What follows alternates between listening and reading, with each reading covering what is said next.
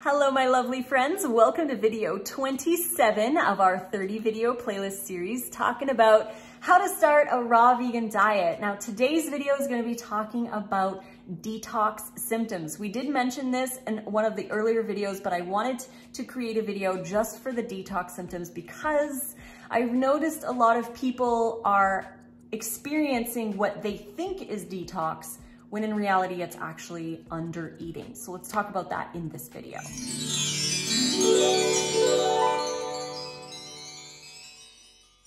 Thank you so much for joining me today. We're on day 27 of our 30 video playlist series. I am so grateful and appreciative for all the love, the great comments, and your compassionate choices. Thank you for making those good choices, voting with your dollar, and eating healthier. You are a great example to those around you and to yourself. You're keeping those promises to yourself. It's beautiful. So before we begin, just to mention, we've got 40% off any or all of our raw vegan recipe books. The code is Nice Cream 40. The link is here and in the description box below, along with the link for all of our print versions. This is the plant-based dips and dressings. This is one of the most popular. Check out that sweet chili sauce. This is made with orange juice, you guys. Orange juice. And we've got some, some delicious dressings here. I really like this one. Barbecue, mustard, yum, yum, yum.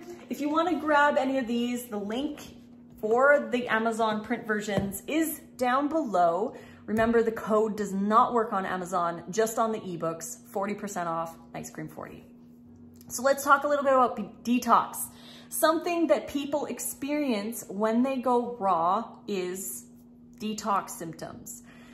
Now, of course, the body's going to be detoxing. The body detoxes and cleanses every day when we get out of the way, when we stop putting foods in that are preventing our body from functioning at its highest. But not all detox symptoms are actually detox. And I've noticed this over and over again talking to thousands of people.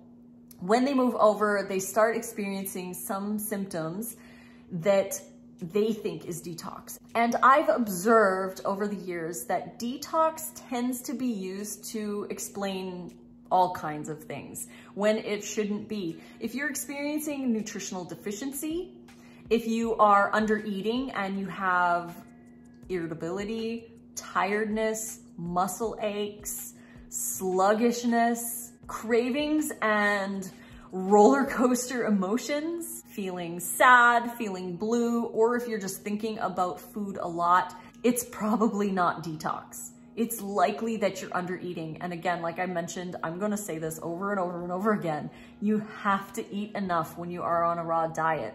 So many detox symptoms are actually under eating symptoms, but people like to use the word detox to explain anything that's not very explainable. Like they don't know why they have this reaction. They don't know why they're tired, but they're eating raw. It must be detox. They don't know why they're feeling this way when they're eating raw, so it must be detox. It's not always detox.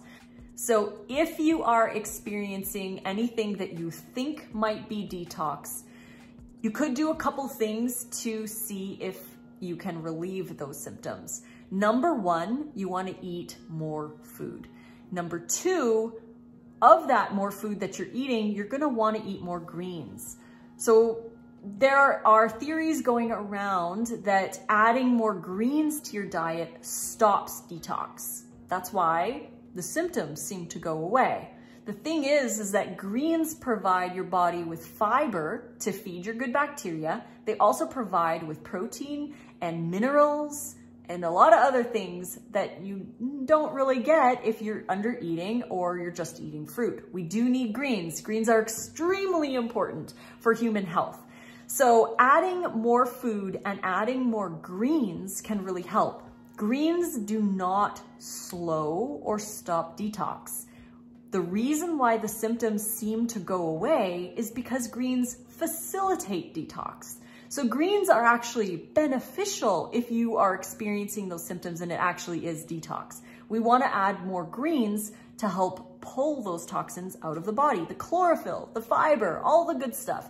We wanna help pull those toxins out of the body so we're not experiencing all these symptoms. So make sure that you add more fiber. When I was working in the natural health industry at the health food store, I was constantly told that if somebody goes on a cleanse, they're gonna need extra fiber because the fiber helps to pull the toxins out of the body. It doesn't stop detox, it helps detox. So increase those greens if you're feeling you're having a little bit of detox symptoms. It could be either it's detox or you're not eating enough, but in either case, adding more greens and more food to your diet is going to help that out. Don't forget to increase your hydration as well. Even though we are on a raw diet, you're still gonna wanna drink water. I know there's people out there who disagree with me that we can get all the water we need from our fruits and vegetables. And yes, fruits and vegetables have the best form of water.